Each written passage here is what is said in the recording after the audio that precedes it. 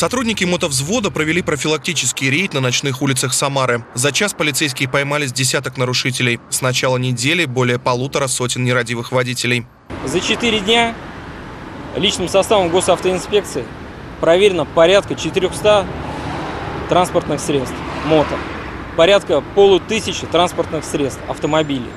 Выявлено правонарушение со стороны водителей мототранспорта порядка 156. По словам инспекторов, с появлением на улицах байкеров в погонах самарские мотоциклисты стали нарушать ПДД гораздо реже, ведь уйти от сотрудников мотовзвода практически невозможно. Они в совершенстве владеют навыками экстремального вождения и могут развивать скорость до 200 км в час всего за несколько секунд. Тем не менее, некоторые водители до сих пор ездят без шлема, прав и страховки. Такой подход к делу нередко заканчивается трагично.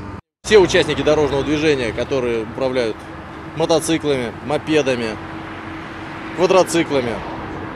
На автомобиле очень тяжело их догнать, потому что в междуряде где-то где узкие места, они могут уехать. Нам они останавливаются всегда. Сами байкеры уверены, главный враг любого мотоциклиста – это алкоголь и безрассудство. Граждане мотоциклисты, товарищи, пожалуйста, соблюдайте правила дорожного движения. И тогда за нами ДПС не будет бегать, преследовать. Это самое главное. Это безопасность, это жизнь, это здоровье. Самое главное правило мотоциклиста, как правило военного летчика. Когда ты выезжаешь на мотоцикле, помни, что все вокруг, грубо говоря, хотят тебя убить. И быть ну, внимательным и осторожным.